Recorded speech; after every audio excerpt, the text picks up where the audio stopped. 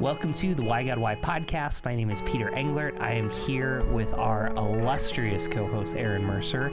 How are you? I'm doing great. I mean, I, whenever I get an introduction like that, it always makes my day. So Yeah, and our remarkable producer, Nathan Yoder. So, yeah, we'll, we'll just keep passing them on. I'm really looking forward to today's episode. We're interviewing Tod Bolsinger. Uh, he is a professor, a consultant, a pastor. Um, you'll find out more about him. But the question that we landed on uh, for this episode is why is leadership so hard? And Aaron, uh, the reason why I love where we landed is I feel like my generation and younger are hesitant to lead, but they want to make change. And it just, life is really hard. And I think we have this idea that life should be more simple and more easy. And then we, we're reluctant to be leaders because of that. And this all kind of has been inspired by his book. He'll talk about it more uh, Tempered Resilience, which, if you're watching on video, I'm holding in my hand right now. So, yeah, that's why I'm excited about this episode. that's great. No, I'm I'm really looking forward to this. Also, um, Tod, thank you so much for taking time with us. I appreciate it, and um, I, I'm excited to to hear uh, all. I mean, obviously, the subject matter is is huge. Leadership is is not easy. Um, and so, yeah, I think it's going to be a great conversation. But um, you know, I know you, uh, I, you know, I know you all have talked some more before. But Tod, we, you and I haven't really talked very much at all yet, and um, I'm glad I get to meet you. But I wonder if maybe you could introduce yourself a little bit more for me, and then for everybody else who's listening, who who's in my my same shoes. Well, I'm glad to. I'm glad to. So, yes, um, Tod Bolsinger. I am the executive director for the Church Leadership Institute at Fuller Theological Seminary. I'm also an associate professor of leadership formation. And I have a company called AE Sloan Leadership that does consulting and coaching with uh, churches and nonprofits around the country. country. Um, so I basically wake up every day helping faith leaders thrive as change leaders. That's really what I do. I get to, after having 27 years in the church where I was a pastor and six and a half years in senior administration at a seminary, um, I get to just now focus all my time on those leaders who are in the middle of trying to lead change and how I can support them. How many? Uh, you you said do you work you work with nonprofits and churches primarily? Is that uh, your kind of your wheelhouse? Okay. Primarily, not yeah, nonprofits, churches, denominations, that kind of thing. Wow. So, Tod, as we get started, um, you know, your other book, Canoeing the Mountains, is about navigating change, and then you're talking about tempered resilience and leadership. I, I just be curious when you look back at your life, what season did you feel like you learned the most about resilience and responding to change, and and uh, just hey, life's hard, but how do I how do I be how do I live and respond to it in a healthy way? Well, there's kind of two parts of that. One is I think I I've had different seasons of my life that were hard. I mean, just there were different personal parts of that, and I think you learn from those things by going through them. Um, I have to say that in the last few years, I started spending much more of my time asking myself the question: So, how am I supposed to learn through this? Like, what does it mean to actually learn, and and how do you actually develop resilience? Uh, I have a, I often say that um, my, my father used to always quote Harry Truman. You know, if you can't stand the heat, get out of the kitchen. so anything that was really difficult to do, it it's difficult. Weren't you looking for work when you found the job? No, isn't it? Like they call it work for a reason. Things are hard. That's the way life is. I began in the last few years, especially as I was in the middle of trying to lead a change process in our seminary, of asking the question so, what is it that I need to be formed in to be able to thrive as I am going through this hard thing? Not just survive, but thrive. And, and that really became the center of my own experience and my experience that I was having in working with leaders across the country. Because I was talking about leading change and I was traveling around the country. I was doing 100,000 miles a year, talking to different folks and and what I kept finding was they would people would come up to me after I finished. Like usually the person who invited me to come speak would be really kind and would take me to lunch, and then they would say something like, "That was helpful. Thank you very much. We'd love to get the slides. We don't think we have anybody who can do that." And at first I was like, "Oh, I got to do a better job of training. That's what I do." And they was, "No, no, no. We don't know if we have anybody who has the stomach for that." Hmm. And that led me in this journey of like, okay, how do you form people to have resilience? And, and it matched my own experience. I think for years I just thought you're resilient because you suck it up, Buttercup. You just you just, just double down, act hard, get tough. You actually found that it's not about getting tough. It's about getting tempered. Hmm. It's about developing kind of a capacity to be both strong and flexible, and that you needed to actually learn specifically and be formed in the middle of it. So it, you know, it's a long way of answering your question, which is like many people, I've had different life setbacks. I think it's only been in the last few years that I've learned, oh, these life setbacks, these especially these leadership challenges, are actually the opportunity for me to be formed in a way that's going to deepen me and help me to be able to lead better in the future. I, I hope I'm getting this right because you know when you're in interviews what you study and go through but i believe that you pastored in uh, the presbyterian church in san clemente is that correct that was your first. Yeah, 17 years. San Clemente Presbyterian. Yeah. Yeah. So, in knowing that, what do you, what would you have told Tod at 17 years, the first year in leading that church of San Clemente? What would you have wanted to say to yourself about resilience that you know now that you wish you knew then? Well, I would think I would have said to, to, Tod then what I often say to pastors today. Like I get I the people who sign up for leading change and the people who sign up to lead change in the church really often think, okay, to do this well, I'm going to need to be tough. I'm going to need to be strong. I'm going to need to be clear. And that's true. But what I would have said to that to myself is what I'd say to them, which is you also need to be flexible and attuned as well as strong. There's a emotional intelligence capacity. There's a wisdom and discernment. Um, you need the capacity to both be discerning and decisive, to be both flexible and committed. And those are those things often don't go together in the same person naturally. So you're going to probably have to go through a formation process to go to get that. So uh, I'm curious, like, kind of to follow up on Peter's question, uh, what uh, early on in your, you know, you were you were starting out. Um, what was one of the first things you had to be resilient from that kind of uh, you know set the trajectory for going towards where you are now? But what you know, what are, can you give some examples from early on in your your um, young career? Well, so I, I, would have to say that one of the parts about my younger, my early part of my career is that I was in an, a perfect environment for shaping me. I mean, I really was. I was. I was really blessed. I I say this all the time. I was 23 years old.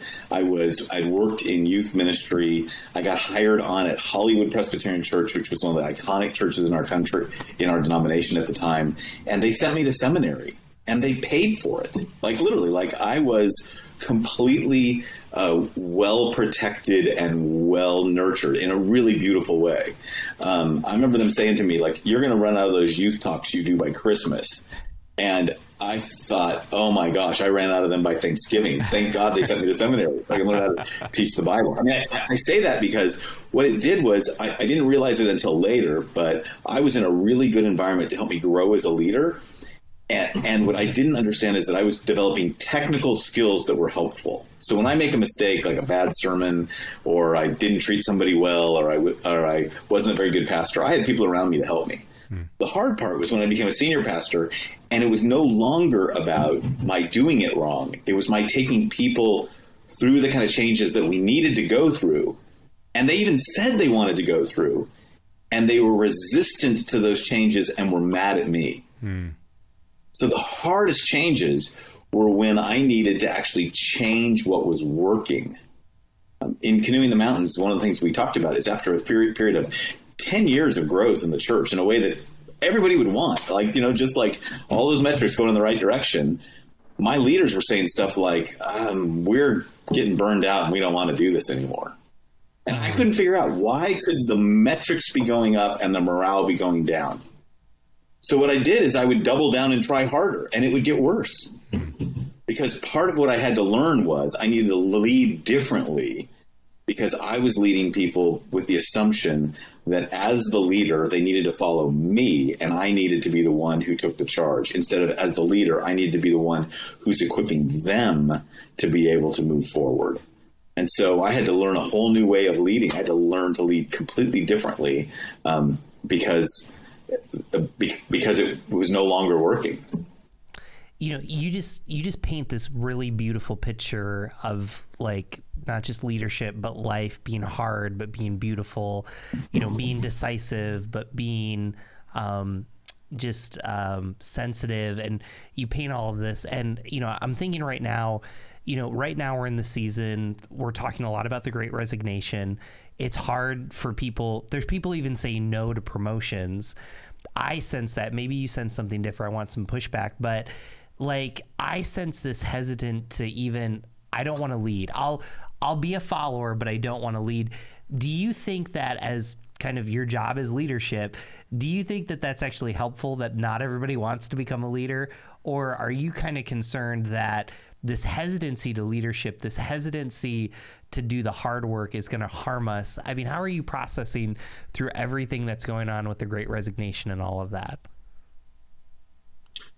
Well, I process it in two different ways. So one thing is remember when I think of, I think of leadership as a skill set. It's a function. It's um, it's not a title or you know you're the there's something about being the authorized leader the person who's got the title the heavy furniture the corner office. That's one thing. And there's a lot of folks who are saying i'm not sure that's, that's worth it right now. Okay leadership is actually where you take responsibility to bring people together so that we might grow and face challenges we have to face. Mm that we have to do no matter what. Like like that's a capacity like that's a capacity for life, right? Our capacity. So when I talk about leadership, I talk about helping people grow in the capacity to bring people together so that together they can be transformed and face the challenges in front of them. And that's why the hard part of it is in the word transform. Most of us want to come together, and most of us are willing to tackle like a challenge, something that we really want to change. Whether that's like I want to get a stop sign at the four way intersection in my neighborhood because so kids can play in the street better, you know, like like I want it to be a safer neighborhood, or whether or not we want to, uh, you know, have a better recycling plan to, to, to take care of the earth, or we want to change our congregation to be more welcoming, or whatever it would be. Most people are signing up and are interested in seeing change, and they're interested in coming together it's the transformation part that is really hard. Mm-hmm. And when you say, in order for us to come together and face this challenge, we're going to have to be changed, that's when people resist. And the hardest part to pay attention to is Ronald Heifetz and Marty Linsky say, who are the kind of the experts in this kind of stuff. People don't resist change; they're resisting loss. Mm-hmm. And what you're really doing at that moment is you're having to say to people that thing you're going to have to be transformed. Your experience that is probably having to give something up that you're trying to hold on to. You may not even be, identi- be able to identify but what I've got to do is help take you through the losses so that together, having gone through those losses, having gone through the transformation, we can then take on whatever challenges in front of us. Well, it's like what Heifetz said too that leadership is disappointing people at a rate that they can handle, right? yeah, right. How, how do you so you know you're working with um, you've done this through your own your own career uh, prior to being a consultant, um, but now you're consulting. You're working with churches, nonprofits. I mean, how do you how do you get people to that that point of number one, even being willing to want to be resilient in, in, the midst of trials. Um, you know, maybe we can go maybe beyond that. Also, is like what would be a next step for them. But how do you even get people to be willing to kind of enter that conversation in the first place? Well, one of the hardest parts for getting people to recognize is that um, leadership resilience, particularly, but leaders in general, are only formed in the middle of leading. Hmm. Uh, you, you, we wish we could get it all done ahead of time, right? We wish we could take a take a class, read a book, go through a seminar, get through a curriculum, have a set of skills. Now I'll be ready, and I won't have to go through that challenge. The problem is you don't learn leadership from books and classes and workshops. Says the guy who writes books, teaches classes, and leads workshops. Right? like you, you actually those those give you the tools, but you don't learn it till you're in it. So this is why resilience becomes really important. What you have to say to people when they're in the middle of it is, this actually is the place where you're going to be shaped. There isn't. I mean, the hardest part about leadership is you become a leader right after you were good at something that was not leading. Mm-hmm right? So you're a really good speaker, you're a good preacher. They make you the pastor. The preaching's not the problem. Nobody, very few people ever have a trouble trouble with. I've got to put time together to develop a sermon. We love that part. It's the people that's the problem. So because we're good at preaching, we make people pastors, as if those two things go together really naturally, and they don't. That's one of the things I was learning. I was a pretty good preacher, a pretty good Bible teacher. I could get a crowd and hold a crowd, and things would be great. The hard part was when we needed to change to be able to reach people we weren't reaching, to become a kind of community that was open to people we hadn't been open to. Well, now that's a problem. So the hard part is to get people to recognize once you're in the place of leadership, and almost everybody who ends up in leadership didn't think they were signing up for this. It's a little bit like marriage, right? You think you're when you're getting married, you know what you're doing, and then you get into it and you realize, oh, we had no idea what we were saying when we took those vows. um, so when you step into leadership, then you realize, oh, this is actually what the challenge is. The challenge is right here. It's in this resistance. It's in what the transformation is going to need be needed in me. It's going to require me to go through a kind of change and take people through it. That's that's really the the challenge. So let, let's say this you have a 24 year old they're at their first job they they position wise they're at the bottom of the org chart but they they say you know what? I don't really look at myself as a leader but i know i need resistance or resilience um, not resistance. You know what are you saying to that 24 year old what do you wish pastors would say to that 24 year old about having a vision of leadership in their life. And again, you kind of said, I don't care what title you have, but you're just saying to them, hey, this is what success looks like, whether you work for a Christian or a non Christian organization. What would you want to say to them? Well, the first thing I would say is um, tell me what you notice and what you'd like to be different. Tell me where you notice, what do you notice in your company, in your community, in your family? And what would you like to be different? Where's the gap? Like that gap is where leader that's the leadership place. The the leaders fill into that gap. And so as soon as you have a hunger for something more, you then have a question to ask, which is, so what am I supposed to do about it? Like what's my and I can't do everything about it. The goal uh, you, you can't believe that you're going to change everything. Some of these gaps are enormous. But what's my contribution? How do I, how do I be responsible in the middle of that gap? And how do I take on and and live into that? And when you start living into the way in which I want to close that gap between the, the values this company says it has and what we actually do, or the the friendliness our church says we have and the way we actually show up, like whenever I step into that gap and I invite others to go with me, I'm a leader. Mm. That's lead. That's the act of leadership. It's it's uh, it's literally like I, I think it's seeing a pain point in the world and saying, you know, I'd like to contribute, add my light to the sum of light, and I'd like to invite others to bring their light too. And whatever we have to learn as we go through, whatever we have to develop and go to, to do to be able to close that gap, that's the capacity for leadership. What's one change you made as a Hollywood youth pastor uh, at Hollywood Pres that you would say, I wish I would have done that better with the gap? Well, I think the single biggest change, the thing I did. So when I was a younger leader at Hollywood Presbyterian, I was the college director, and I started a new young adult group, and we started an urban ministry. It was really great. My problem was is that I didn't. What took me until I was in my mid 30s to figure out is that I tended to fill that gap by over functioning. Mm. I made it about me. It's like I said, hey, let's go start a team, and I'm going to be the star player and the coach, and if you just all stay with me, we're going to be okay.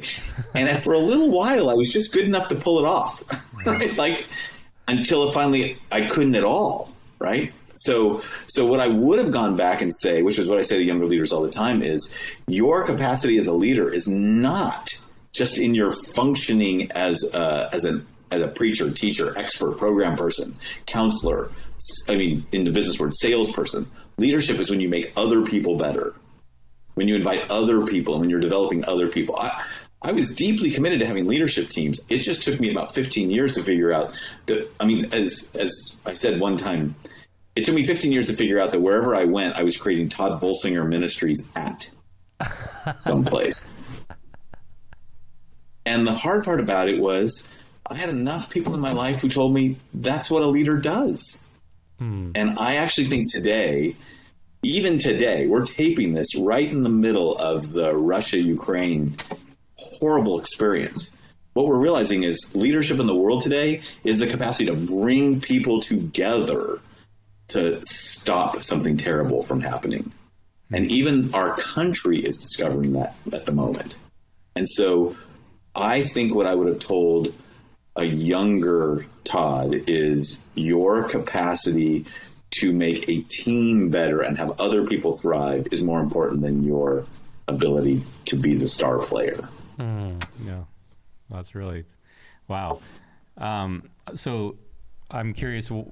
In the last, uh, you, you mentioned, you know, what's happening right now as we're taping this, um, but you know, we also all know the last couple of years have been an interesting couple of years. Um, you know, I think the leadership lessons that you're referring to right now are, are um, things that could be at any time, um, building and, and uh, not easy anytime, but certainly something we need to hear anytime. But I'm curious, what have you what have you found in the last couple of years that um, like uh, special ways that people have been struggling with trying to uh, become better leaders.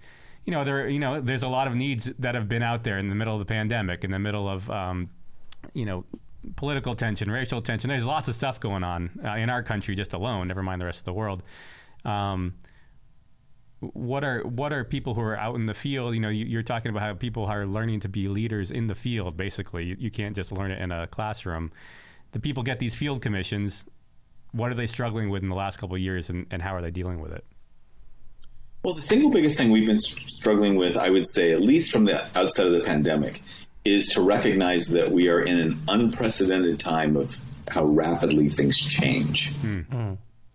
So, like the speed of change and the number of challenges that we all have at one time mm-hmm. is unprecedented. So just just the place I spend most of my time with is in churches, right? So I work with church leaders and pastors. Well, like I say to pastors, look, you've been trying to lead a congregation through a health crisis, an economic crisis, a crisis of social injustice that's led to political crisis, that's led to church crisis. Somebody said we're in 1918, 1929, and 1968 all at the same time. Hmm. And on top of it, we've got things like the internet speeding it up. So nobody has ever been here before. Like there's, you can argue that there have been worse crises in the world than we're facing today. That the the Black Plague killed many more people. The flu of 1918 killed many more people than we've had today. You can you can say it was worse, but I think it's unprecedented that anybody alive today could say, "Oh, I know exactly what to do." And so the hardest part for most of us is how to learn when there are no, how to lead when there are no best practices, mm. Which means we have to lead through learning and experimenting and making mistakes and bringing people together to be able to learn that process. And I think for many leaders, that's not what they thought they were signing up for. They thought they were signing up to have a perfect playbook and to do the right things and call people together and we'll be successful.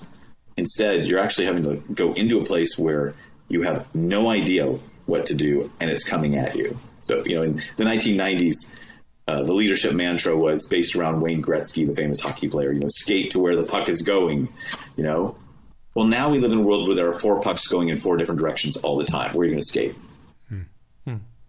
And the game has changed so dramatically that you have to lead in that context. That's the challenge, I think, of the last few years you know, I love that you brought that up because I think one of my biggest takeaways from the uh, reading the tempered resilience was the difference between a failure of nerve and a failure of heart, and I just thought it was so concrete and tangible. Can you talk about those two differences when it comes to leading and how maybe for our listeners and ourselves, how do you self reflect to kind of say, hey, which one am I leaning towards? Yeah, yeah, thanks. Well, the failure of nerve comes from Edwin Friedman. He was a Jewish rabbi who was also a marriage and family therapist. He used family systems theory and applied it to organizations.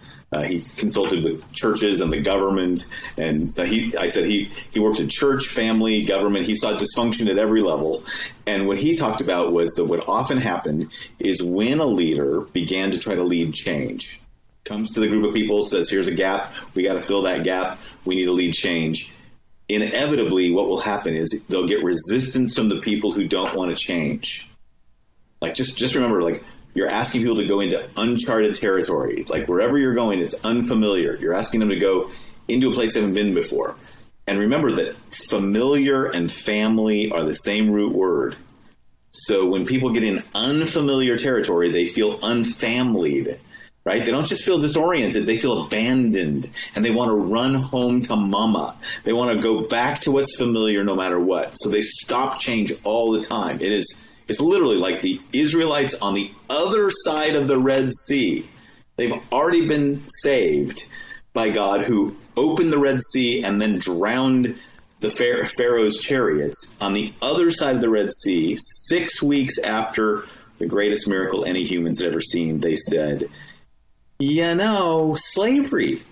They killed our children, but we did have leeks and onions, and we're hungry. And they wanted to go back.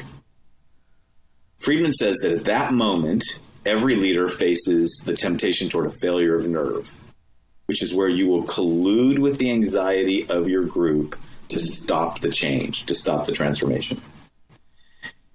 It, it, what it takes at that moment is the clarity of mission and the ability to disappoint your people and the ability to keep going and, sit and with them. And that's what it takes to overcome a failure of nerve.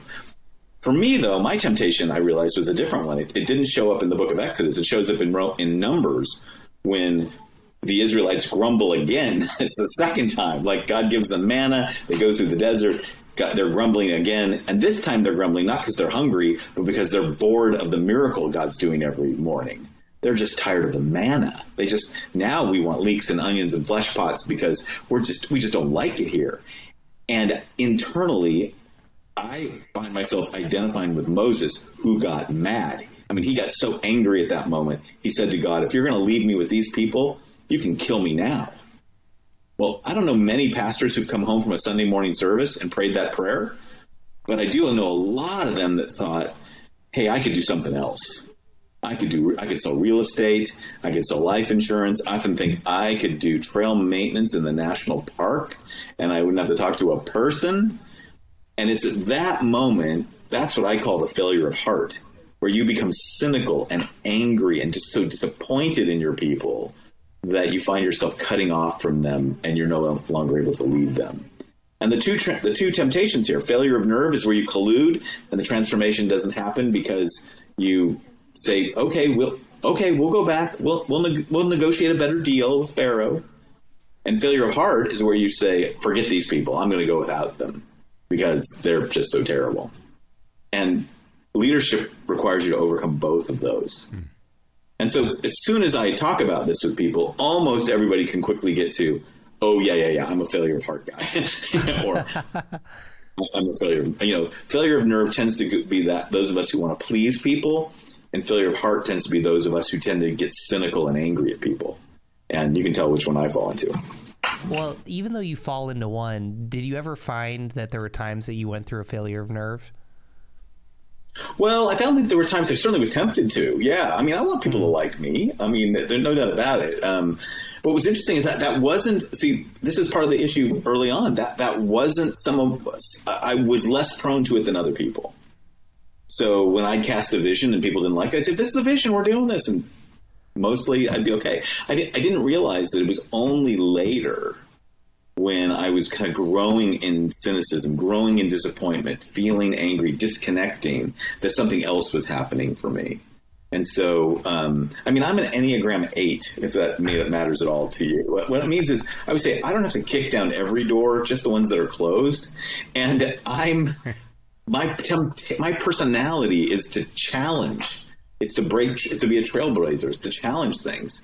So it's pretty easy for me to be the person who's like, look, I'm fine. You're all the problem. Well, that's not leading.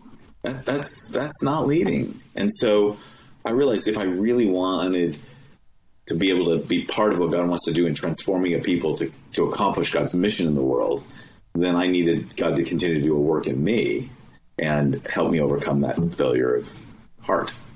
Well, you know, uh, we talked to Aaron about his Enneagram number at an episode. I'll let you listen to that. But, you know, as an Enneagram 2, I'm so glad you brought that up because mine's definitely a failure of nerve. Like, you know, I'll get to a place where I'll say, hey, this is the right direction for us to head. And then all of a sudden you have four or five voices that are saying something strong. And even just, you know, through reading your books and even through through reading the Bible, it's kind of like at some point, like I'm gonna be okay with disappointing you, and also what I've even found, like we talk about that. So you quoted Wayne Gretzky with, you know, just go where the puck goes. I like to quote the Michael Scott one. You miss 100% of the shots that you don't like to, or that you don't take.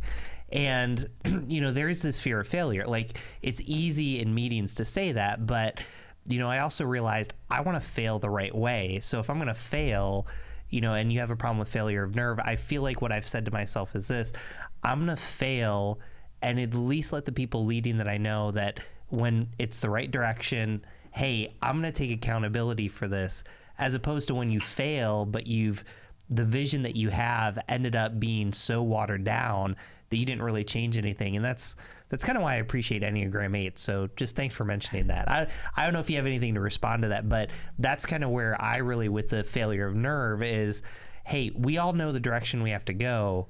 I get it that you're backing up but if we water this down, we're going to fail in ways that we never thought we would. Well, so let me just respond to it this way, which is I think one of the big reframes that needs to happen to, to both folks who stru- struggle with a failure of nerve and a failure of heart is not to be afraid of the word failure. Mm-hmm. It's to understand that what we need to do is learn from our failures. Mm-hmm. Like we'll, we will fail. It's got to be safe to fail. Matter of fact, I always say to people, if you're learning, you're actually not really failing. What's really a failure is when you fail to learn. Mm. That's why you repeat it over and over again. That's why, you know, you start blaming other people. That's the problem. And so for many of us, the giant challenge is to lead the learning. It's to actually become more humble and more curious, more open to the fact that it's only through learning that we move forward. And so even when I'm working, we um, our consulting group and works with. I mean, we're working between my my institute and my consulting group. We're working like sixty churches right now, and we teach them a process for experimenting with adaptive change. And what we tell them is, don't ask the question in the experiment, "Did it work?" Get rid of that question. Instead, every single time you try a new experiment, a new thing you want to try, ask, "So what did we learn?" Mm. And then do the experiment again. And what did we learn now? And do it again and do it again. Don't don't set it up as did it work? That's a zero sum game. Set it up as we're going to do this, we're going to learn from it, and we're going to do it again. And we're going to we're going to experiment our way forward, learning as we go.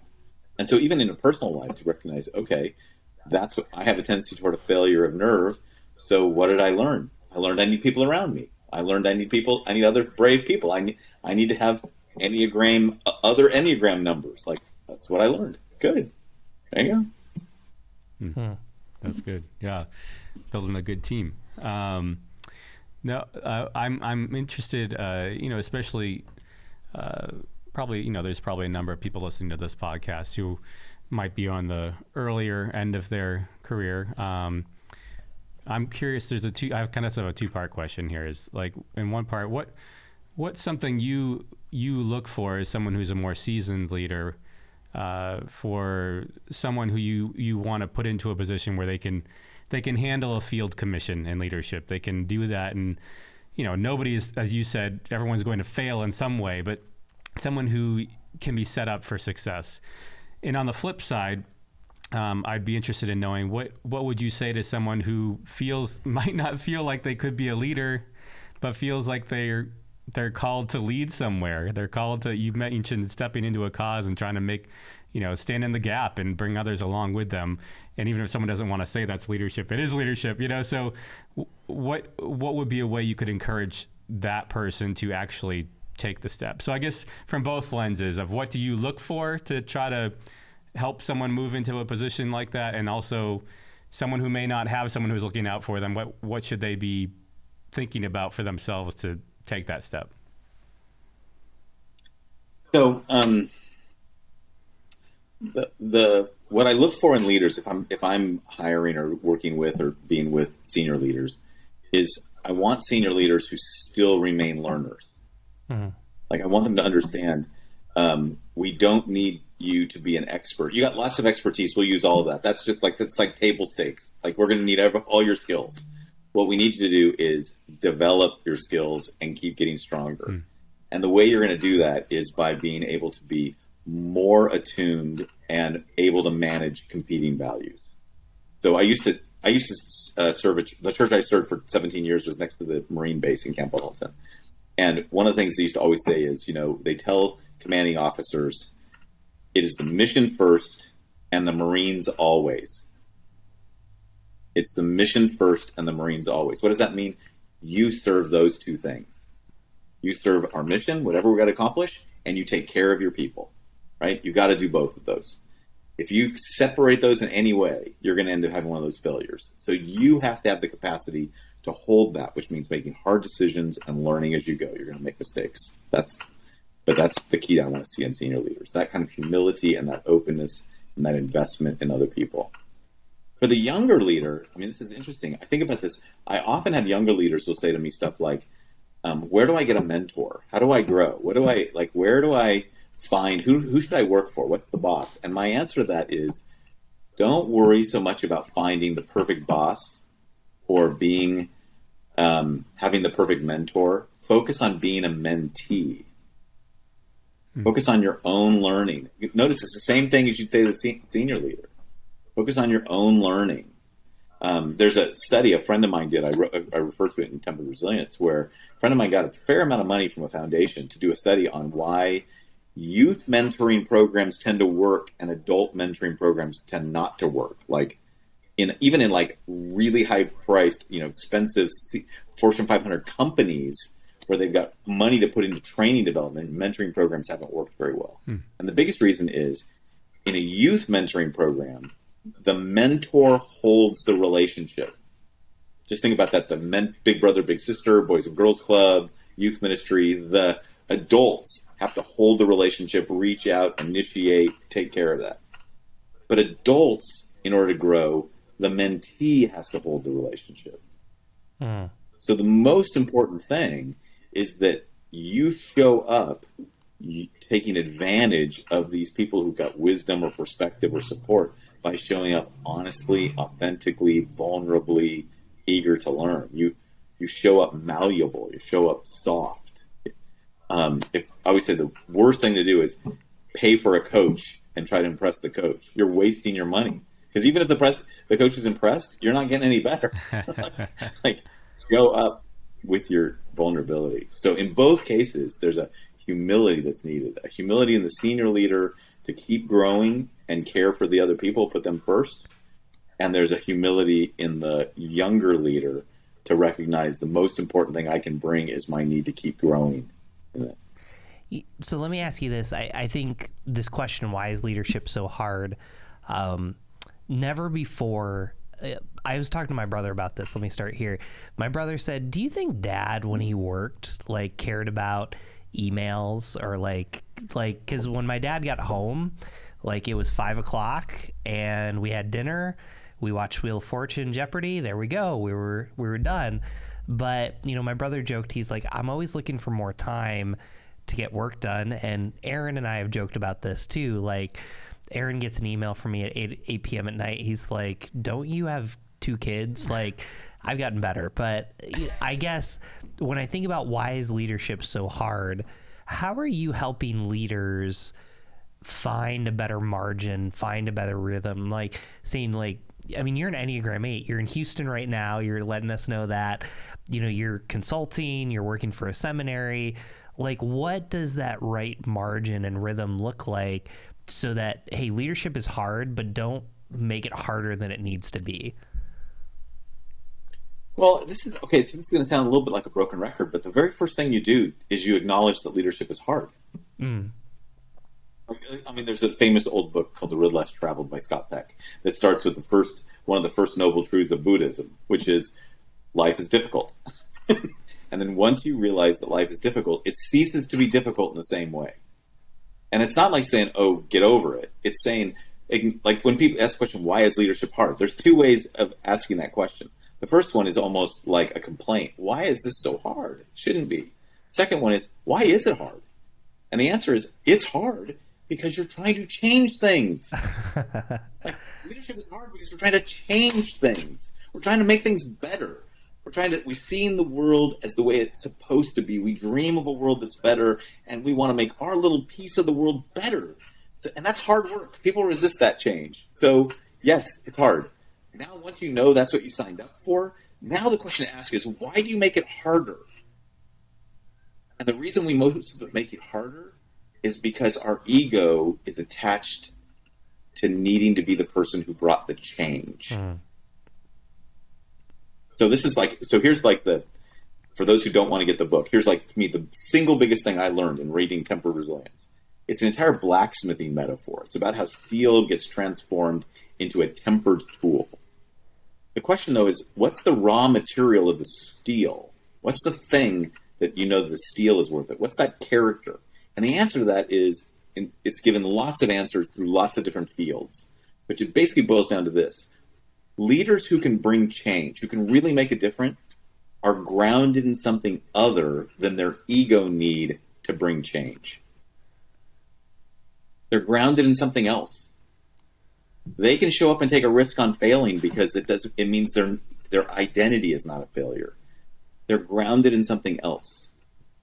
And for me, this is why I'm a Christian. This is my the example of this is Jesus. One of the most powerful passages for me in the book of Mark is the very beginning where it says, "At this time, he came to the to the river to be baptized." At this time, at what time? Before he had done a sermon, before he had confronted a power, before he had done a miracle, before he cast out a demon, before he had done anything. And he hears, "You are my beloved son, in whom I'm well pleased." Eugene Peterson translate that as you are the pride of my life. When did Jesus make God proud of him? Before he'd done anything. So part of why we make it harder is because we're trying to prove ourselves rather than live out our calling. We're trying to prove that we want to bring change and we want change to happen that we brought. And there's a big difference between participating in being doing something that God wants to do to change the world and my being a small part of it and my being the person who gets the credit, the person who brought the change, the person who succeeded in it. I think that's why we make it difficult is because our ego is wrapped up in it. Hmm.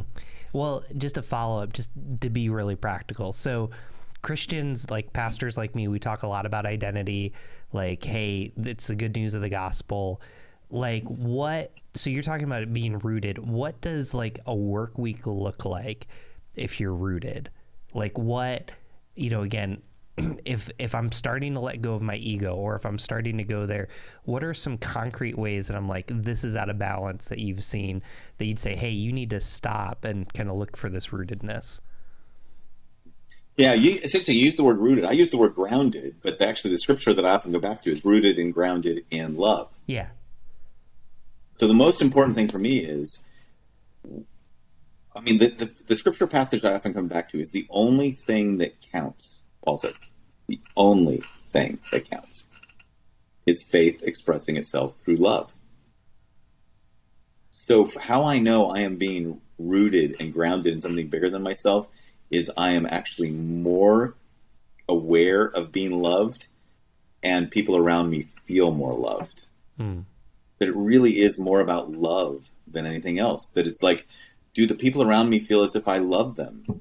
Am I do do I have a sense that I am loved even if this thing goes and fails? Even if I take on this this task that I need to take on and I fail miserably. Can I believe that I am grounded in something other than my success and my need for success? And when I start living my life that way, I start making different decisions. This is that's when you don't send an eight o'clock email because you think more than anything, my kids need to know they are loved before they go to bed tonight. Hmm.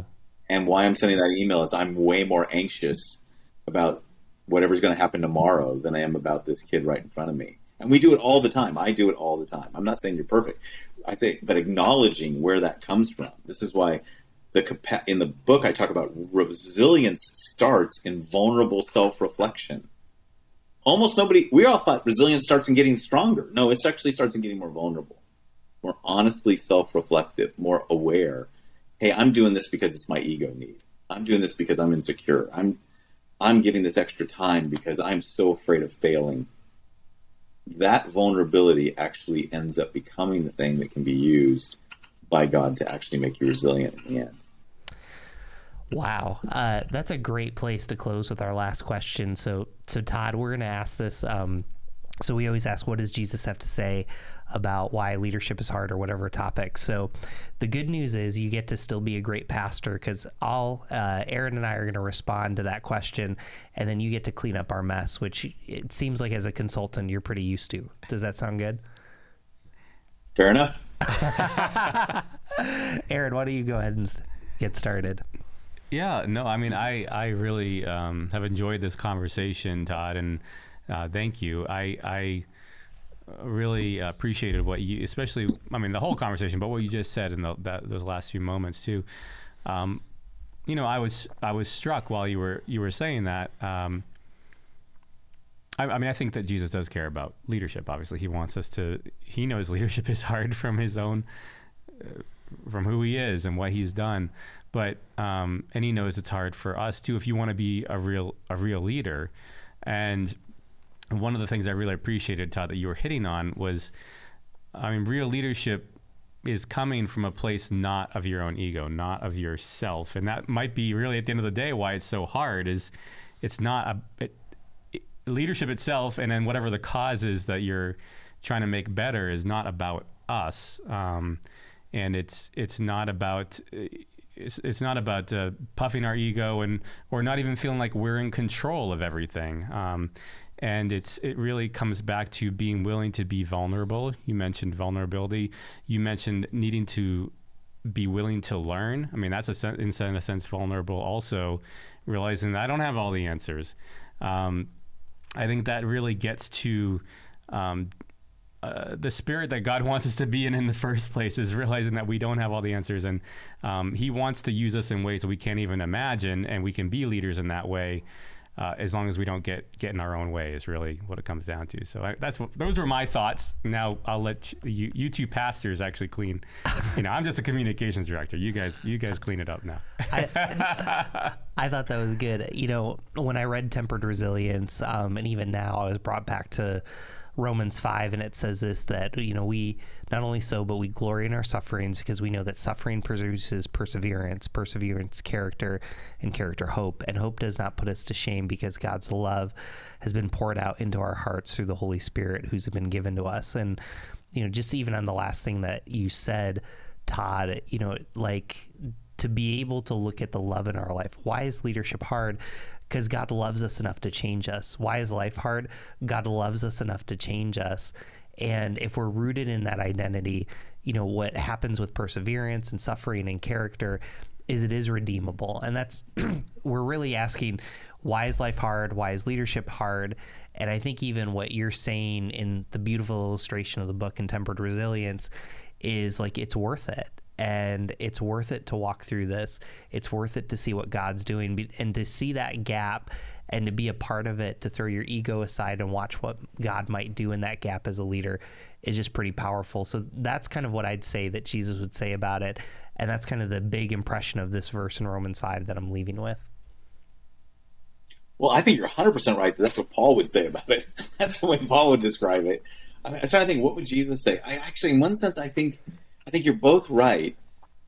And Jesus would say it this simply the servant is not greater than the master. Mm. Leadership was hard for Jesus. I mean, all the people he led left him. The people didn't understand him. They didn't get him. They, I mean, there's whole scenes like you know John six. They all he he does one miracle. They all want to make him king. They want to ask him to do another miracle. He says no. They all the crowd leaves him. He looks at the disciples and they say, they look at him like you're you're nuts. You're making this hard. And he goes, "Are you going to leave me too?" And you read Peter saying, "Well, where else are we going to go?" Like, I, I, don't think he was being faithful. Though I think he was saying, "We can't go home. Like we we made everybody else mad. Where are we going to go?" Like, I think what Jesus would say is, "I really do understand that leadership is hard. I went through it, and I'm inviting you into it. And the only thing I promise you is, I will be with you in it, and it will not be wasted." Mm. A day is going to come when the kingdoms of this world will become the kingdoms of our God and of his Christ, and he shall reign forever and ever and ever. Hallelujah, hallelujah, hallelujah. Like I, it's it is hard now, and as Paul said, it's momentary afflictions. It's me. That, that's not meant to minimize. That's meant to acknowledge it. For me, what gives me hope is the hope that God is in the midst of it all. Um, as Dr. King said, he's he's lifting up, you know, he's lifting up every valley, tearing down every mountain. Mm. A, a river will flow through it, and the glory of the Lord will be revealed. Because he believed that God was going to redeem the world down to the dirt. He said in front of 250,000 people in front of Lincoln Memorial, we go back to work. Mm. We go back to the South. And with this faith, we will be able to hew out of a mountain of despair stones of hope. And that, for me, is what leadership is about. It's about having a little chisel and hewing stones of hope out of the mountains of despair. Wow, what a way to close. Um, if you're watching on video and you can't see, I have the book uh, Tempered Resilience. I'd encourage you all to buy it. Uh, no matter what, uh, where you lead, I think it's very helpful to faith and just in growing. And Tod, where's the best place people can follow you? Well, so I'm at the Church Leadership Institute. It's De Pree, in, uh, depree.org, D-E-P-R-E-E dot org slash church. Um, depree.org slash church. That's the Church Leadership Institute at Fuller Seminary. Um, and then you can Google me and find my consulting company and stuff like that too. That's awesome. Well, Tod, thanks for being with us. The best way you can get a hold of us to get this episode or any other episode is go to whygodwhypodcast.com. We are so glad you joined us, and uh, we're thankful that we hope that you uh, that you. Uh, man, I am losing it at the end of the day. But we hope that you responded, uh, that you sense that we're asking the questions that you don't feel comfortable asking in church. Thank you so much.